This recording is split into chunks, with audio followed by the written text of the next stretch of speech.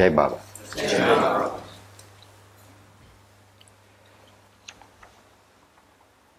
After Baba left Avatar's abode, Francis went back to continuing to write Stay with God. He'd started at our house in Bondi in August 56 and was still working on it. But by the time I got to the, uh, after Baba left, he was actually in the process of corrections, going through, changing, checking. And Lorna used to come up whenever she had the time and see if there was any typing. One day in November 1958, she came up, and as usual, Francis welcomed her. Got out of his chair, he had a, a table just there, and his chair that he used all the time he was here until he went to India was Baba's commode chair with a piece of masonite, as is in Baba's room. And always used to sit Lorna on that, put the typewriter in front of her and show her what was to be typed. This time he told her to sit down, said, I'll make a cup of tea. Now, after tea was made, he said, uh, he said, well dear, there's no more typing. I've done all I can. I can't think of anything else. The book is finished. Well, it's, to, to the best of my ability, it'll have to stand or fall the way it is. So about a month later, Francis got a letter from Baba saying, which he'd been warned about, that Baba was asking him to come and stay with the Mandali we all thought, well, if he's lucky three months, if he's extra lucky six months. Even Francis knew that it would be four, uh, it would be more than his usual two weeks or a month as in 1955. So Francis was very happy to go off with his finished book. But when he got to India, Baba stuck his finger in the book's pie and started to make corrections to Francis' script, tell him uh, uh, different changes he wanted, uh, dictating three discourses to be included in the body of the work. And then the big job, he asked Francis to write notes for all the references that were in the book that people may not know. So he asked me to uh, he would send a little list, right? And he asked me to rope in Joanna to help. But I was farming at the time, so I think Joanna did about three quarters of the research, so that could be in, that book. Uh, when the book was published, then one of Francis's jobs was Bar- uh, wanted this book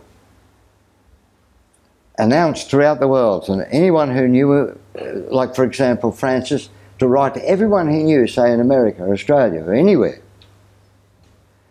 Baba asked for 5,000 copies, hardback. It's interesting, about four years ago, uh, the Australian literati got very excited. It was the 10th anniversary. An Australian poet I can't remember his name, uh, had written a long poem, a book length poem, and it had sold 2,000 copies. Well, the hardback edition of Stay With God sold uh, 5,000 copies. In 74, there was a paperback edition of 3,000 copies. And in the 90s, there was another edition with illustrations by John Parry, what was that edition? 4,000 plus 500 in hardback for America. So that fella's lost the race. um, then at the same time, Francis, Baba was getting Francis uh, to take, uh, Indians were giving talks about Baba in India to Indians and they have a tendency to go on and on and on, right? Uh, it might be exciting for people in the audience, but to be printed in a newspaper or magazine in cold print, Francis said, you know. So, so Baba gave him the job of making it printable. And uh, he also started, and he worked from 1959 to 1960 on five long poems, uh, including the, the ballad we heard the other night, sung by, was that fellow Jacob? Very, very nicely too. Um, uh, uh, of a, Ballad of the Rhyming Knight, yes. And what's the other five in Word of Well's End? Dream of wet pavements. Right, that's it. Uh, Dream of wet pavements and and the one first one, whatever that was. Uh, eh? Elegy for young poets. Elegy for young poets. Yep. Dream of wet pavements was the first one, but he was writing others at the same time, and uh, so he, he worked on that 1959 to 1960. But he hadn't finished them when he started on a new venture. In 1961, early in 1961, he decided to invent or try to invent an English form of the ghazal. I'll come to that in a minute. Here's a letter he wrote in July of 1959. Just to give you an idea of what it was like to be a member of Baba's Mandali. The other day, according to Hindu calendar, was Guru's Day, which occurs once a year. Baba had us all collectively pray to God to help us to hold on to Baba to the end. Baba is not a guru in the sense that he teaches us. He has said, I come not to teach but to awaken. What he is, is our guru in the sense that he takes over the direction of our lives according to the degree of our surrenderance of our lives to him. Thus, he is at the same time our personal guru and avatar to the whole creation. In the evening, he sent for me to come to his room, and among other things said, Your stay with me so far has been entirely fruitful for me, for you, and for your group. This your rather surprised me, as I've always felt since 56, when you all met him, that there was now no longer any group, but that each one was under his own steam. The point that makes me happy is that somehow my being with Baba has been of benefit to all because I always feel that the final fruit of anything he does for an individual will be when all enjoy it. Even when I have seen him giving the, bless, the blessing of his embrace to thousands, I have not been able not to think, well, what about the millions? The answer apparently is that through the thousands, he does touch the millions. And this touch is a preparation for when he breaks his silence and manifests his full divinity. Now, the assumption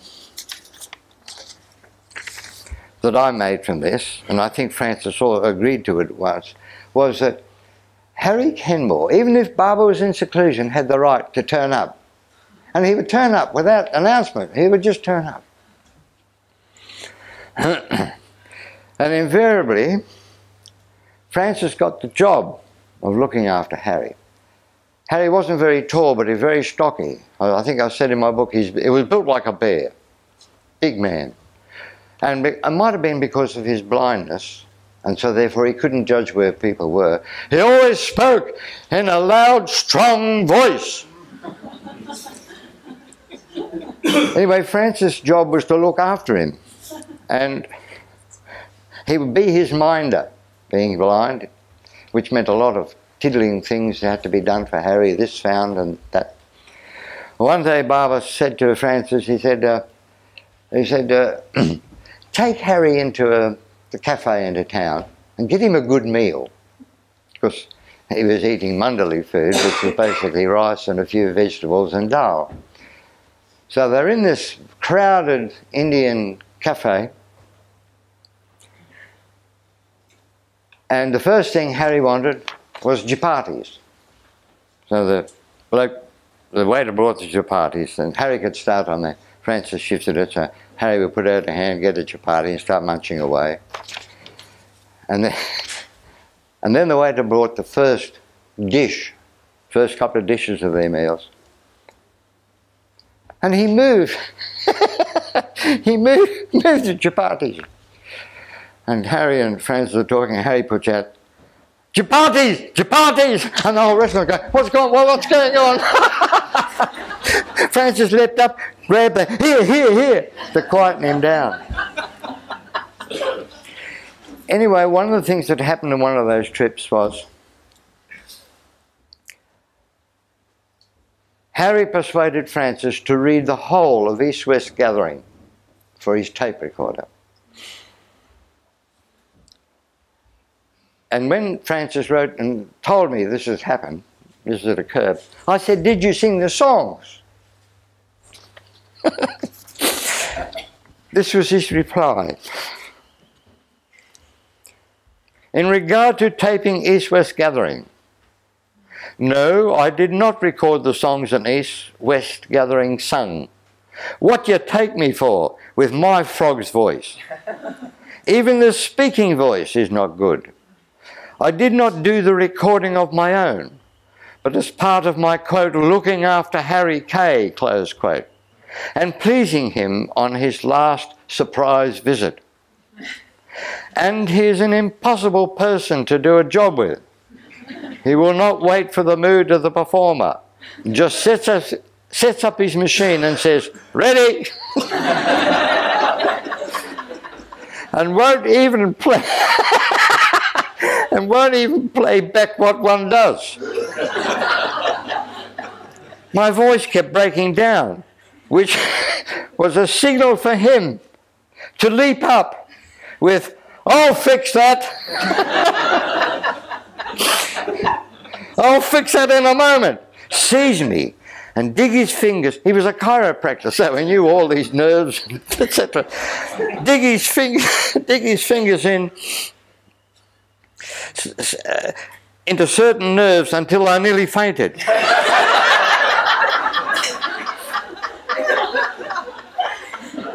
And then yell, "That's better, isn't it?" oh God. I should have bought tissues.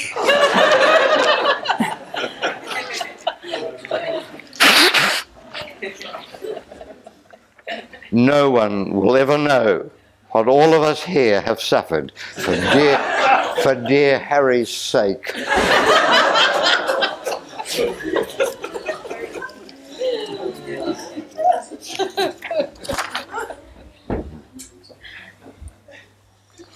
Now read this one of the things that the Min Mandali saw, which none of us who met him at Sarvis time, 56, 58, East West Gathering, ever saw any evidence of Baba suffering. When he was with you, if he's Sarvis is his company, and if he was giving his company, he gave his all.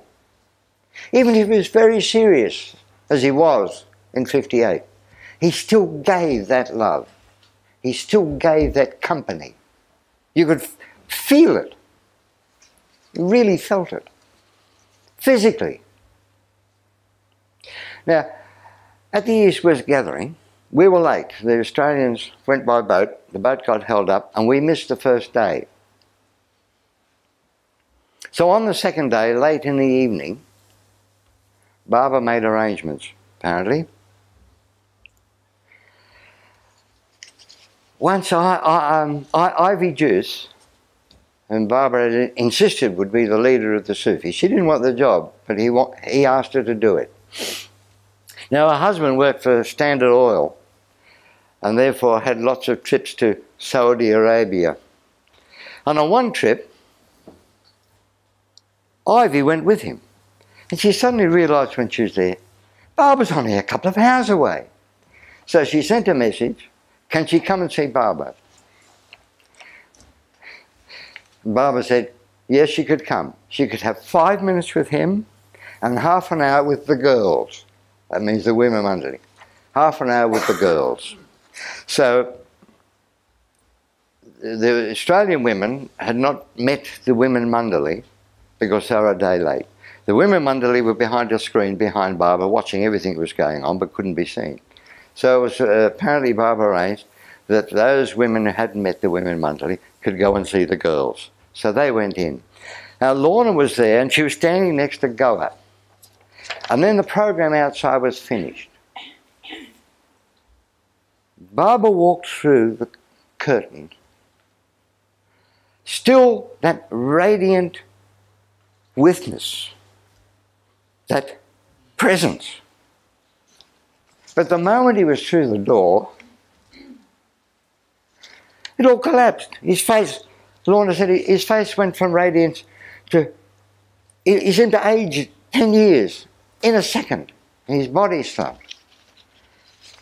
Lorna involuntar involuntarily said, or it escaped her, ah. Oh. Gubba, Goher grabbed her arm and said, now you've seen it. Every night he comes in, shining like he is outside all afternoon, and then bang, you see he's utterly exhausted. Now, with the men Mandali, if Baba was suffering because of his universal work, they saw it. He didn't hide it from them. If he was radiant, well, they were lucky. So anyway, this is a letter that Francis wrote.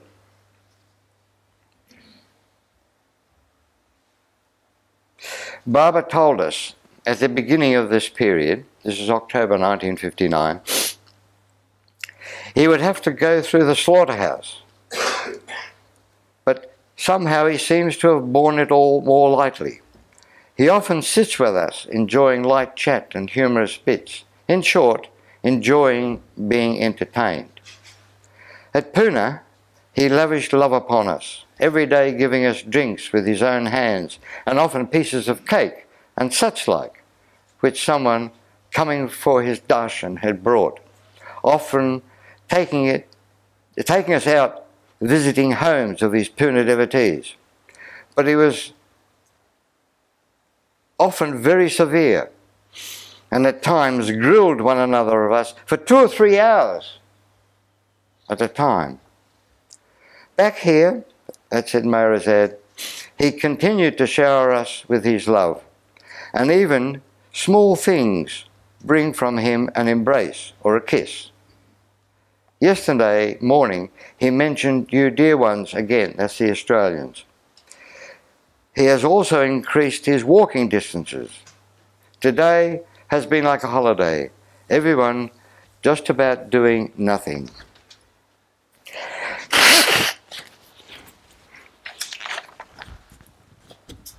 Tonight is the first night of three days Diwali festival, a festival of the chain of lights. Muchas gracias. Every doorway, windows in India will have a little light made by a wick burning in an open earthenware saucer. And on the side of it, in honor of Lakshmi, the goddess of wealth. Some of you will remember the film The River in villages and towns. They were, they were visiting in general hospitality. Tonight, the businessman closes the last year's ledger and places the new one at his feet. Here also, at Meherazad, every doorway has its own little lights, and the main entrance is a fairyland. Now, it was during this period that one of the Mandali told Francis a story, a story about Lakshmi, the goddess of wealth. The sort of story Francis loved. There was a moneylender. And being a moneylender, he was an absolute miser. He used to wear old clothes, it didn't matter if they were dirty, worn, he was saving his money. And he had a customer, a spendthrift, that he'd lent money to, and he was living the, he was living the good life. And the miser started to get worried about his money. this bloke was enjoying too much, and, and he wasn't paying any back. So he decided to go down and see this bloke and get a bit of it back out of him before he spent the lot. So when he went down to the spendthrift's house, some of the tough guys outside wouldn't let him in because he looked like a beggar. Anyway, finally a message went, was taken reluctantly to the spendthrift. Who came out? Oh, me old mate, come in! Dragged him in, and uh, the bloke tried to keep raising the matter of, you know, money that's on loan. No, don't worry about that. Don't worry. Put on a feast for him, lavish feast. In the afternoon, brought on musicians and dancing girls. And the miser's thinking, you know, all this is, is my money that's being spent. Finally, he says, I, I think I'll go home as it's getting dark and he couldn't get anything out of the place. Oh, oh, don't go. No, no, no. There'll be robbers out there. They'll, they'll take all your money. Oh, all right, I better stay then. so more feasting went on and he said, you better stay overnight. So he took him into the bedroom. Two beds, satin sheets, silk pillows, beautiful drapes and that. The moment the spendthrift put his head on the pillow, he was away. The miser lay there thinking, God, oh God, how much money this cost? Oh, he must be spending a fortune. Will I ever get it back? 12 o'clock, the door opened. A beautiful woman entered, went straight over to the spendthrift's bed and started massaging his limbs. And she went on doing this while the miser watched in amazement until dawn. When first light broke, she started to leave. And the miser says, Hey, hey, who are you? She says, I'm the goddess of wealth, Lakshmi. He says, Why are you, why are you massaging her? I never stopped thinking about you. She said, He's my husband. You're my slave.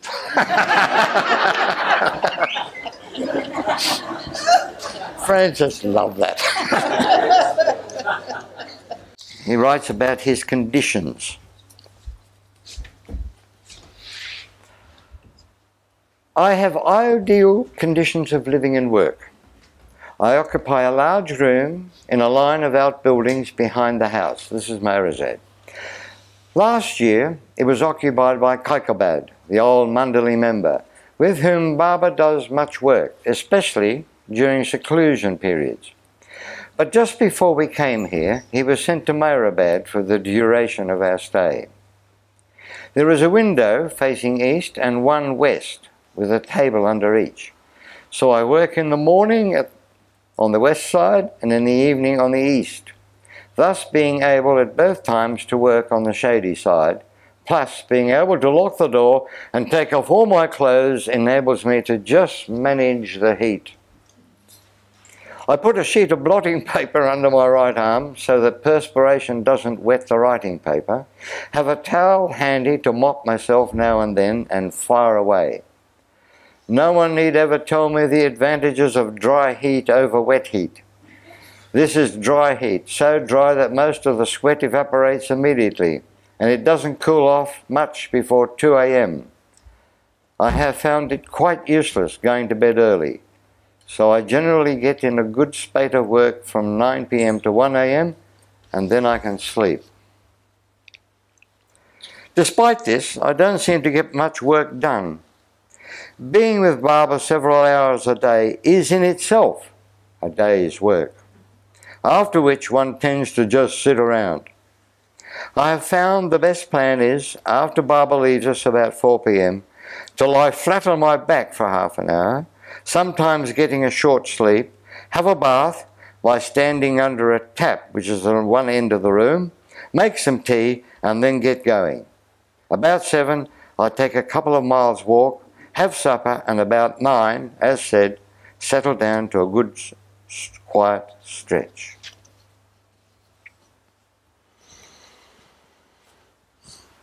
God is just too big, that's all. Just too big. I said to Baba one day, the more I see, the more I wonder why anyone wants God realization. It is a big affair. Baba's answer, a chuckle and one kiss. The other day, he called me privately to give me a point on a particular piece of work I am doing. His requirement was simple, yet it seemed impossible to execute. Now, sorry, just previously, he had reprimanded me over something, a piece of bad conduct. His requirement was simple, yet it seems impossible to execute. Now he was putting upon me a piece of work which seemed impossible to do. This extraordinary confidence in me, coming on top of my misery because of his rebuke, was too much for me, and I started to weep. Then he asks, What is the matter? And I start mumbling that everything is too much for me. Then he says, Don't get discouraged. You are really doing well, and I am satisfied with you. I only said what I did earlier so that your heart would be more comfortable. You see the psychology. You do something wrong, and nothing happens. Baba doesn't say anything. Oh, I got away with it. The ego's happy, but the heart knows. Wrap him over the knuckles. Knuckles. The ego's not happy, but the heart is more comfortable. Brilliant. So your heart will be more comfortable. then, then he gives me a kiss, and I go out from him bursting with gratitude and happiness. then he stuck in a little poem verse on how big a God is. If God was the voice within music, he would be easy to sing. One need but listen and utter the note. If he was the glisten of splendor, one could shine and please him, be a mirror reflecting his brightness. If he was the spring of energy, by self fission, one could storm him with the flame of a question on final issues and arrive and be. This God I serve and love is far beyond voices and shinings and questions in the sun. Deaf, blind, aloof to these does not respond, but waits until performances are done. Only the noose of his whim flung in space of heart can catch him to release his grace.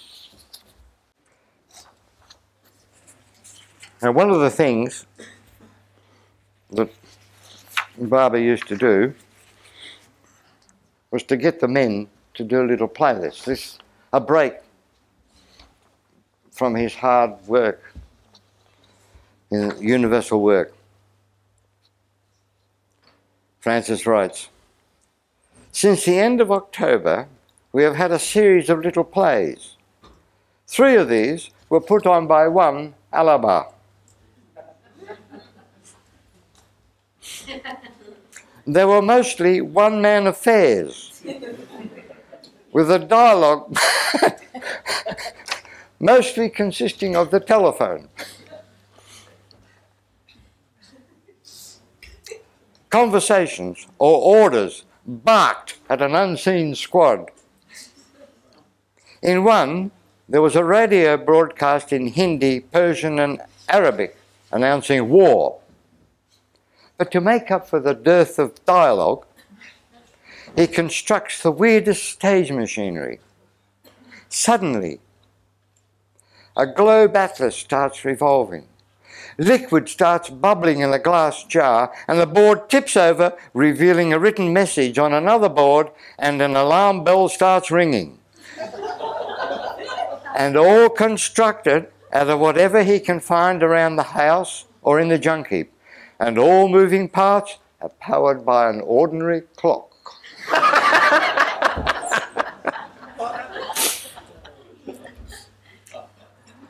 Meherdas, who when he turned up was Ramdas, but Baba changed that, he was a worker of miracles. He was well known travelling around India and apparently committing the sin of miracles.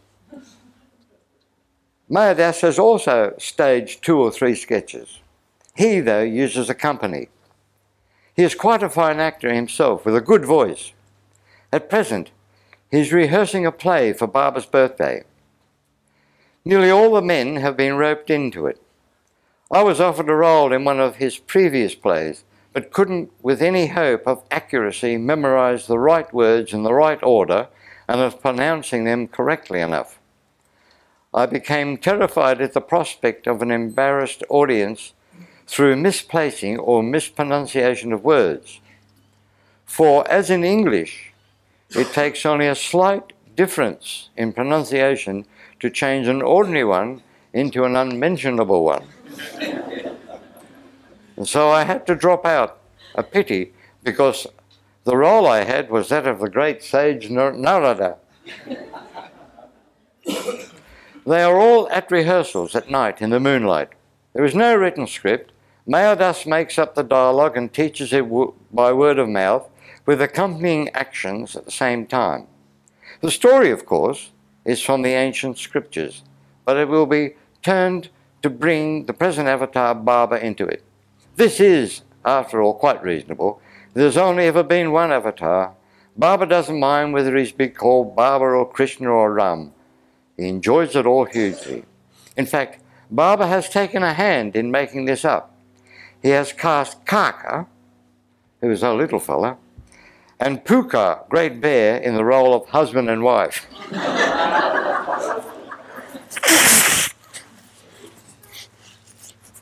Kaka, oh, uh, Puka is the biggest and fattest man of the Mandali. Poor Kaka, he is 67 years old, has been with Baba through every trial and hardship from the beginning, and now has to start play acting. Baba teases them all the time by suggesting situations suitable for the role. At one time, Baba was getting Eruch to read the newspaper, new stories from the newspaper, and uh, and and then he would get the Mandali to act it out. And one story Baba really liked it was, it was a story of uh, two wedding parties in the same carriage, and an argument broke out on which way the fan would be turned. there was no, apparently no compromise. And they turned into a, a physical fight. When suddenly, according to the newspaper, a young man burst into the carriage waving a revolver and told them if they didn't all shut up, he'd shoot the lot of them. Oh, Baba loved that and got them in. They had to act it out. And, and Baba himself burst into the carriage and waved a gun. If they didn't all shut up, he'd shoot the lot of them. Another thing that Francis used to write to us about was some of the various characters would turn up. To have Baba's darshan a Sanskrit scholar. He's a research scholar attached to the Deccan College, which Baba as a youth attended and which now was a general college. Oh, sorry, was then a general uh, college, but now is a language school alone. And he's been coming here regularly. One morning, sitting on the veranda here, he wrote a letter in Sanskrit to a scholar friend in Madras. Before sending it, he showed it to Baba. It was translated into English by Deshmukh, Dear Deshi, and Francis arranged it uh, a, a little bit poetically. And the letter reads I have had the darshan of Sri Baba of great glory, the most worshipful one, now for a fortnight. Before this, only his name had come to my ears, and I knew nothing of his life story. When I came face to face with the most worshipful Baba of ascendant greatness, there arose in my mind an inexpressible joy, the kind of peace which, according to the scriptures, enlivened the forms of Nara, Narayana, and others. Exactly that kind of peace is experienced here.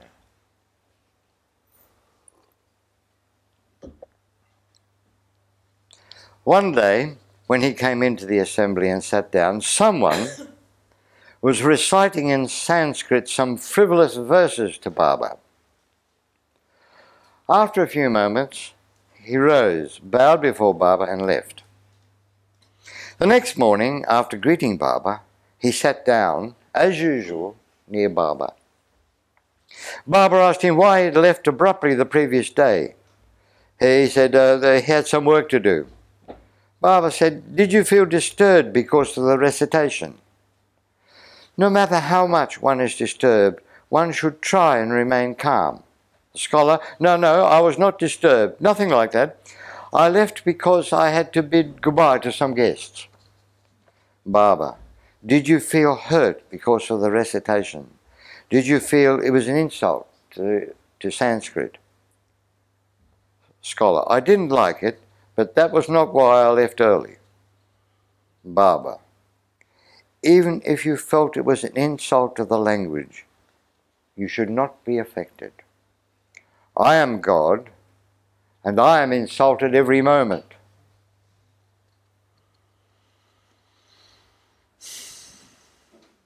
Yet I never fail to respond with love. Scholar, I am trying to learn to tolerate things that are not to my taste. Baba then gave him some words of encouragement. Later, the scholar said, Ah, Baba must really love me. Otherwise, he would not have taken the trouble to correct me.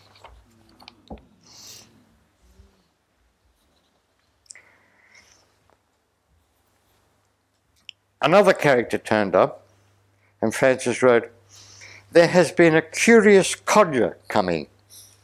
He wears the saffron robe of the mendicant, and all over it is printed Sri Mata, Holy Mother. Somehow it tickled my reverence. In other words, some of the larrikin still left in the Australian. And I nicknamed him Dear Mum.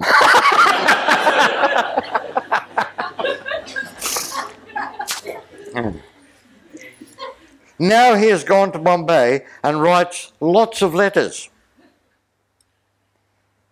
Eruch says to me, Here's another letter from Mum. he has developed a burning zeal to go to darkest Africa and convert all of it to Baba. Baba looked so innocently relieved and said to Eruch, encourage him to do that.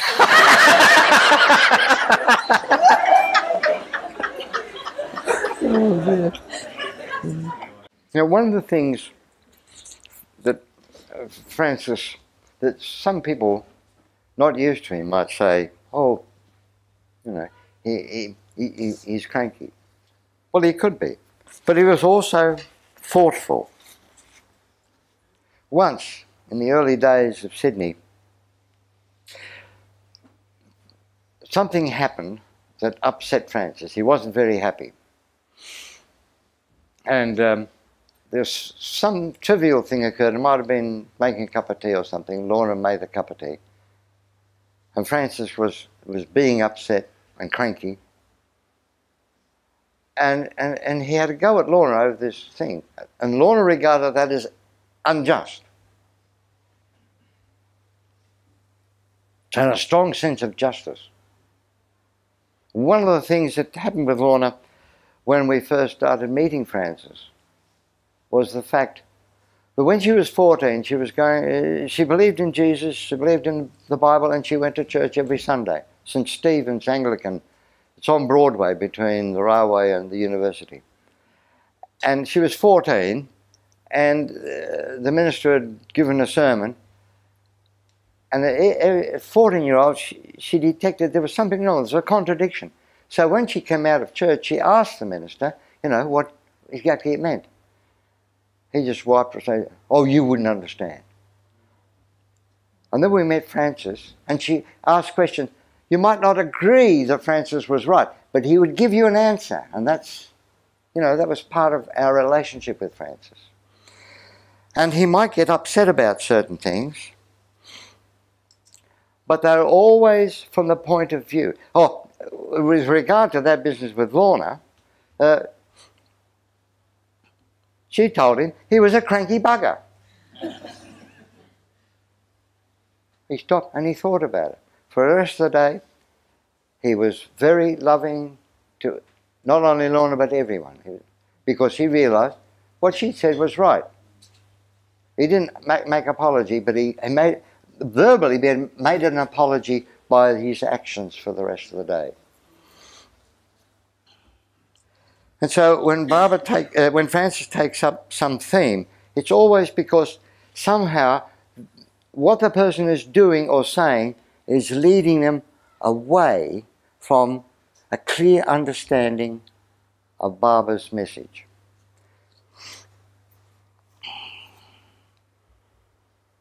So once he let fly in a general letter to all the Australian group Note on Baba's conversational talk.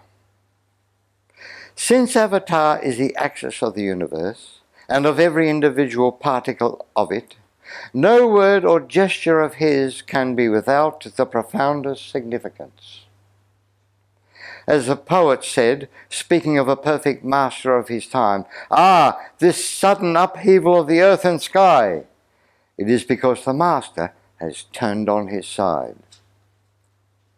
Notwithstanding, it is absurd for us to try and read significances and inner meanings into Baba's simple actions and general talk. There is no means whereby it could be correct. The only intelligent reaction to the rain god wants me to suffer more yet would be the parrots, the rain god, etc., etc. I remember one day at the 1955 service, Baba was walking up and down the meeting hall after lunch. Naturally, a number of sahavasis gathered in the doorways and watched him. Afterwards, Baba said, When I was walking up and down, some of you are thinking, Baba is doing his universal work. Well, as a matter of fact, I was simply digesting my lunch. The point is, since there is no time when Baba is not engaged on his universal work, why single out some isolated individual action as being linked with it? It is nothing more than an expression of, we are in the know, we are a little bit more on the inside. The same applies to statements that one has heard or read that Baba was working through someone or using such and such a situation to further his work, or that during his travels he was laying cables. Since Avatar is said is the axis of all things, and since his mission is universal, there could be no one and no insect through whom and with which he is not working, and no situation which he has not created, let alone using. As for cable laying, well, I suppose one person's fancy is as good as another's.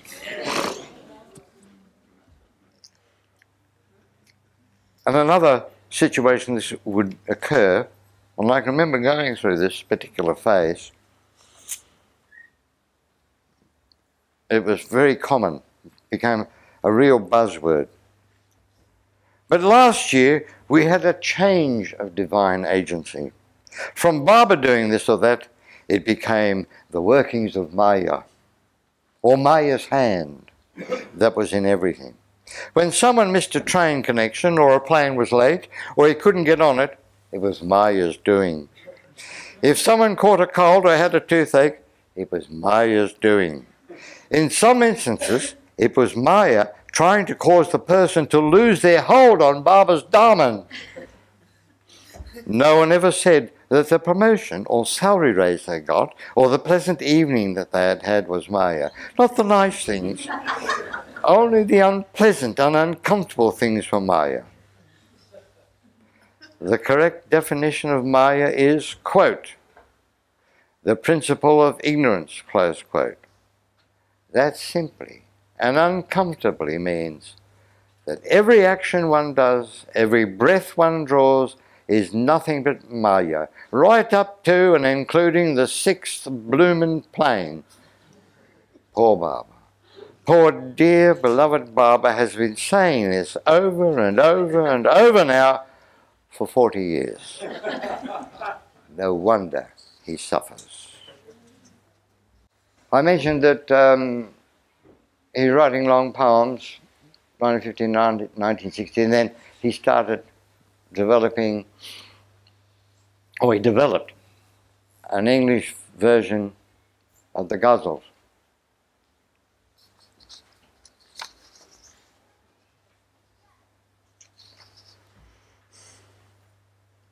So these long poems he'd been working on, he set them aside. And uh, concentrated on writing ghazals. and in 1965, he wrote us, uh, well, uh, it might have started in 64. He then went back to the five long poems and worked on them. You're referring now to the Word at World's End? Word at World's End, yes.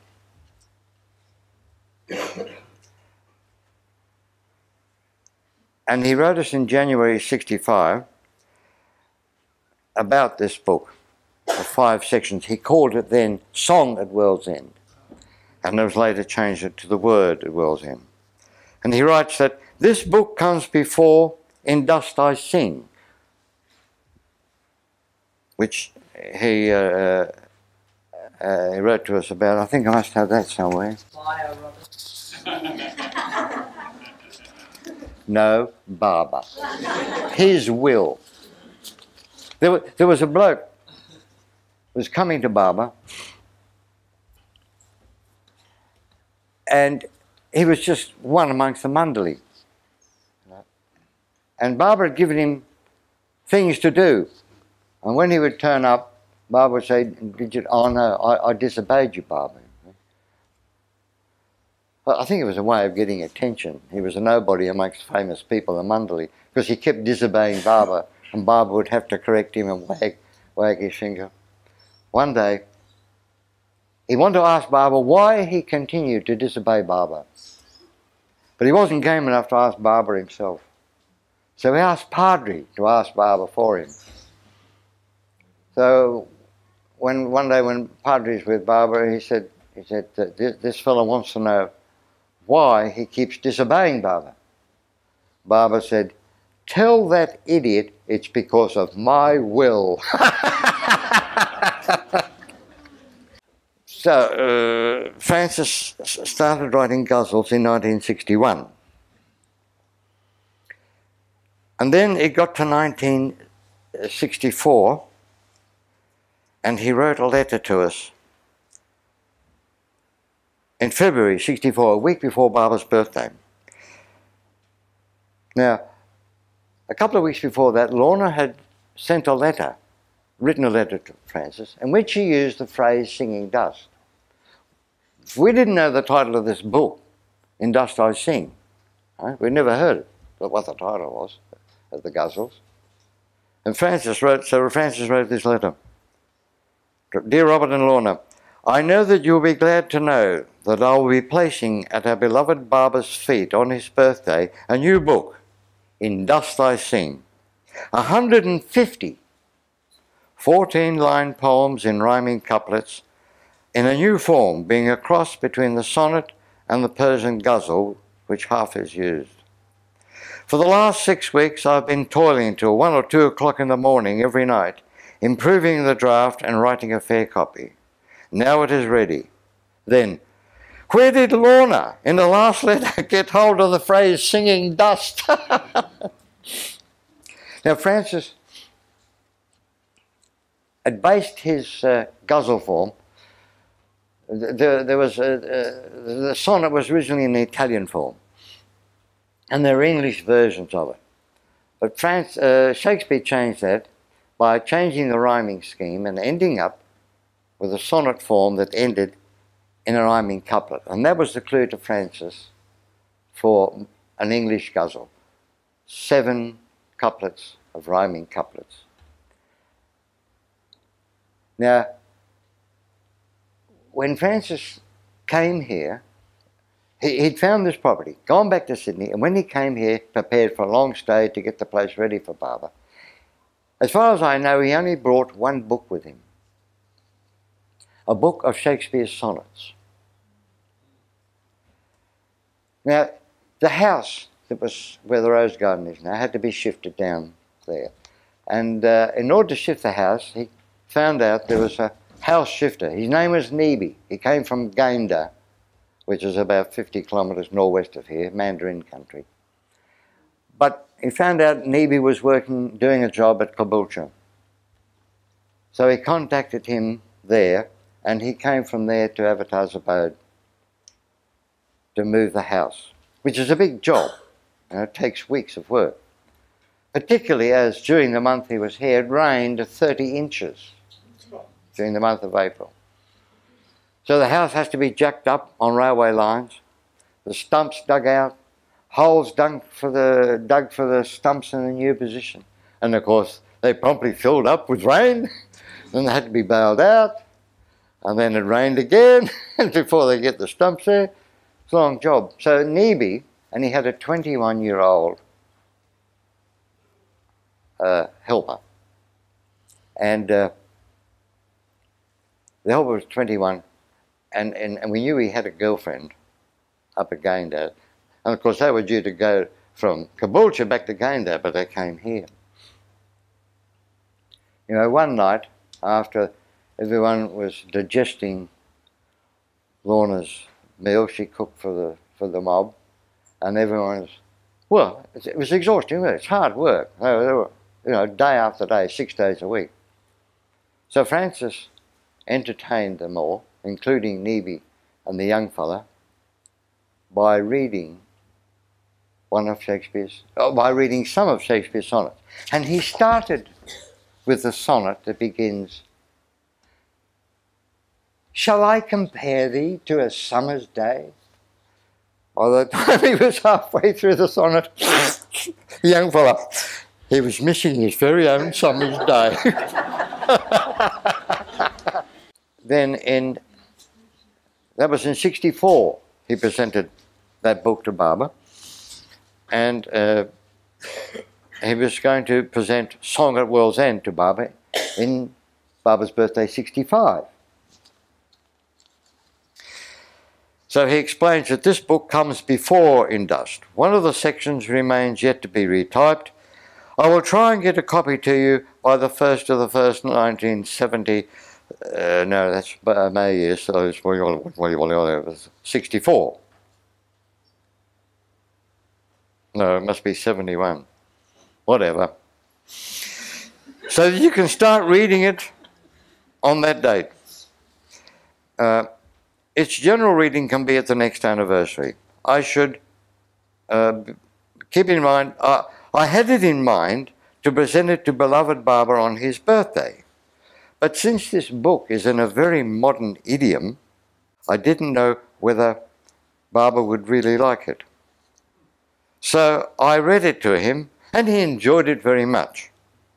Now I have nothing for his birthday. I should have finished with something dramatic like talking about Maya.